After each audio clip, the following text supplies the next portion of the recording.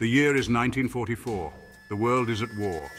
The Nazi war machine has rampaged across Europe, leaving devastation. Countries have been crushed under tyranny. The very soul of freedom is at stake. The Allies prepare to strike back at Normandy, France, the prize a foothold in Nazi-occupied Europe. The stage was set for Operation Overlord, better known as D-Day, a colossal undertaking involving hundreds of thousands of troops. The fate of millions rested on the brave men storming Normandy. The seeds of D-Day were sown in the minds of brilliant military strategists like Dwight D. Eisenhower, Bernard Montgomery, and Omar Bradley. They knew a direct assault on Europe was inevitable, but the where and how were fiercely debated. Normandy, with its relatively weak defences, emerged as the prime target. The English Channel posed a formidable obstacle. Landing troops on a fortified coastline under enemy fire seemed impossible. Yet Allied planners toiled tirelessly, studying maps and rehearsing scenarios. They developed solutions to overcome logistical challenges. Artificial harbours, codenamed Mulberries, would be towed across the channel. Specialised tanks, Hobart's funnies, were designed for beach defences. A vast air armada would soften German defences and provide air cover.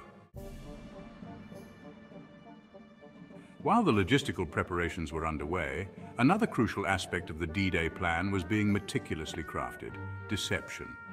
The Allies knew that maintaining the element of surprise was paramount to success. To this end, they launched a sophisticated campaign of misinformation, codenamed Operation Fortitude, designed to mislead the Germans about the true location and timing of the invasion. Dummy landing craft were assembled along the English coast, fake radio transmissions were staged, and inflatable tanks were strategically positioned to create the illusion of a massive buildup of forces poised to strike at the Pas-de-Calais region. The success of Operation Fortitude would prove crucial in securing the element of surprise on D-Day and catching the German defenders off guard. June 5th, 1944. The air hung heavy with anticipation and dread.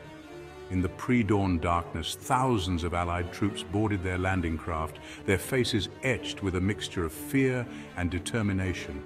The fate of the free world rested on their young shoulders. The invasion, initially scheduled for June 5th, had been postponed by 24 hours due to bad weather.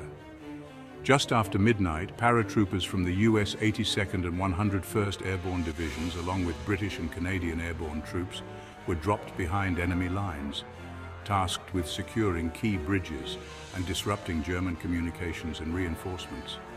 Their mission to sow chaos and confusion behind enemy lines, paving the way for the main landings at dawn. As the first rays of sunlight pierced through the pre-dawn darkness, the full might of the Allied armada appeared on the horizon. Thousands of ships from mighty battleships to humble landing craft stretched as far as the eye could see. At 6.30 a.m., the deafening roar of naval guns shattered the morning calm. Operation Overlord, the largest amphibious invasion in history, had begun. The Allied troops, under a hail of enemy fire, stormed the beaches of Normandy, codenamed Utah, Omaha, Gold, Juno, and Sword. Omaha Beach, assigned to the U.S. 1st and 29th Infantry Divisions, proved to be the deadliest of all the landing sites. The Germans, entrenched in heavily fortified bunkers overlooking the beach, unleashed a murderous barrage of machine gun fire, mortar shells, and artillery.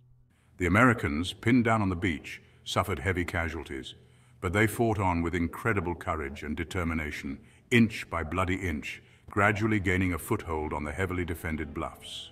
At Utah Beach, the U.S. 4th Infantry Division faced lighter resistance than anticipated, thanks in part to the successful misdirection of Operation Fortitude. Despite being pushed off course, they quickly regrouped, adapted to the changing situation, and pushed inland, securing their objectives.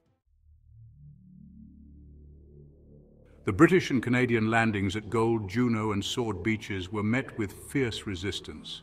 Heavy fighting raged throughout the day as the Allies fought to establish a secure beachhead and push inland. The sound of gunfire, the explosions of artillery shells, and the cries of the wounded filled the air. Casualties were heavy on all sides. The beaches were littered with the bodies of fallen soldiers, both Allied and German. Medics worked tirelessly, tending to the wounded under constant threat of enemy fire. Despite the horrors they witnessed, the Allied troops displayed remarkable courage and resilience, driven by a shared determination to liberate Europe from Nazi tyranny. As night fell, the Allies had successfully landed on all five beaches, but their hold on Normandy was tenuous at best. They had established a foothold, but the battle was far from over. The Germans, though initially caught off guard by the invasion, were regrouping and launching fierce counterattacks. The days and weeks after the landings were a brutal test of endurance. The Allies faced fierce resistance, fighting tirelessly to expand their beachhead. Every village and town became a battleground. Despite heavy casualties, the Allies gradually gained the upper hand. Reinforcements bolstered their numbers and firepower. By late July, the Allies captured Caen after weeks of heavy fighting. By late August, Paris was liberated, and the German army was in full retreat. The successful Allied invasion of Normandy marked a turning point in World War II, alongside the previous Battle of Midway and Battle of Stalingrad. It established a crucial second front in Western Europe, relieving pressure on the Soviet Union.